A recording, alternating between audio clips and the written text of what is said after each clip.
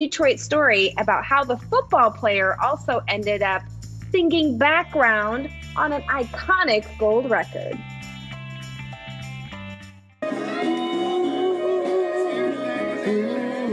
I'm Lem Barney, former Detroit Lion, number 20. First 20 from the B category, Barney, Billy, and Barry Sanders.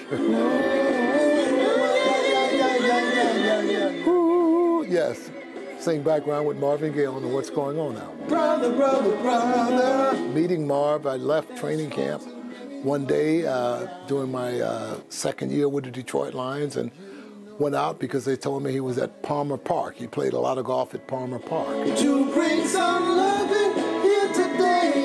And so I said, well, this is going to be a chance to, for me to go out and meet him. So after morning practice out at Cranbrook, where we had our practice during training camp, I left there and came down Woodward Avenue, Seven Mile, Palmer Park, right there on the left as I turned in. And I went in and asked the uh, manager, was Marvin Gaye out playing today? And they looked on the roll. They said, no, he's not playing today, sir.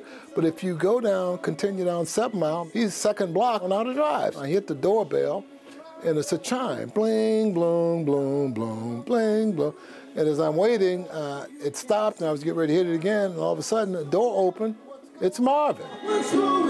What's going on? What's going on? What's going on? And he said, yeah, man, what's up, man? I said, uh, I said, look, Mr. Gaye, I said, my name is Lem Barney, man, and I just come by there just to tell you what a great uh, musician and, and, entertainer I think you are. He said, who'd you say you were?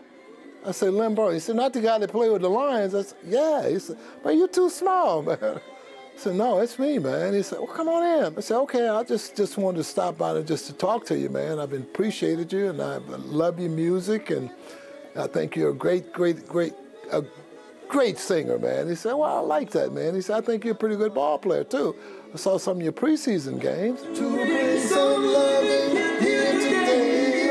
So we must have talked about an hour and a half, and all of a sudden I look at my watch, I got 35 minutes before the second practice was to be done, and I got to leave there and get out to Cranbrook. I must have ran every red light on Woodward. We exchanged numbers, and uh, from there we made contact from time to time. Brother, talk to me, brother. Marvin started going to the games on Sunday, and afterwards we'd go to different restaurants for dinner and the wives and the team and all. And uh, Marvin would go with us, and sometime he would entertain.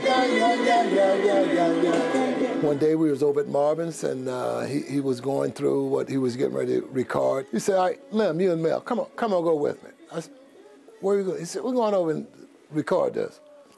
I said, "Okay." Well, we'd been over there before with him, but it wasn't no we in it. Hey, what's up there? Lem, you take this part, Mel, you take this part. Right on you know, I said, wow, you, you, you recording this? He said, yeah, you're going to be on the record. Yeah, brother, like solid, right on. So when when it first come, say, brother, what's up? Yeah, brother, like solid, right on. Sweet gaze. And it, it came out to be a smash. I mean, you know, I didn't think nothing was going to come out of it, but it was a joy for the both of us and then received a gold record. I mean, hey, it's like Super Bowl. Get the football. Come on with it. It was a joy for me to have met Marvin and uh, the relationship that we established was just a, like a dream come true. I think I got to put that on top of football because best I did in football was made seven Pro Bowls, one playoff in my 11-year career one singing background, I got a gold record. So. Good stuff, man. I love you too, man.